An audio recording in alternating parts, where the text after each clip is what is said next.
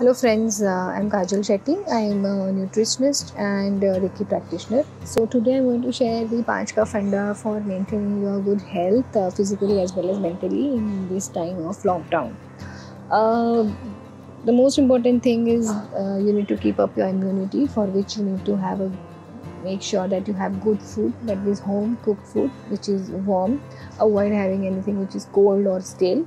So cold water ice creams cold drinks etc should be avoided strictly. Have home cooked basic food dal chawal roti sabji which are good enough uh, a handful of nuts every day a good amount of seeds uh, which will help you to keep your uh, vitamins as well as other nutrients in check the other important thing is that you make sure that you sleep well because not sleeping well also affects your immunity to a great extent.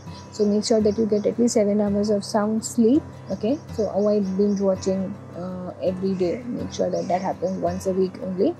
The third important thing is that you hydrate yourself well that you need to have good amount of water have juices water pani so that salt and sugar content of your body is balanced because of the high humidity that can happen that you get into a mode of dehydration which itself is so much of uh, stress and draining for the body.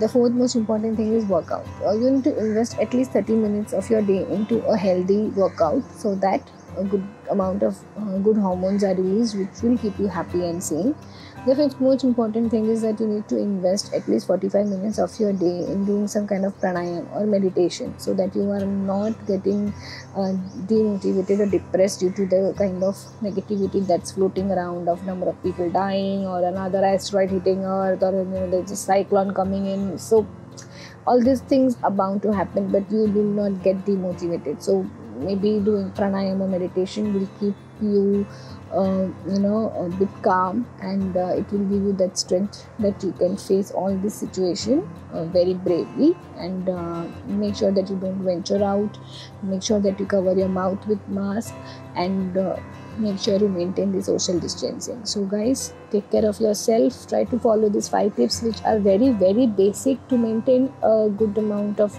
you know uh, uh, to keep up your immunity and good health okay? Uh, nothing nothing uh, fancy nothing extra. Basic home cooked food amount of good amount of water warm water good sleep good workout and breathing workout okay? So keep up.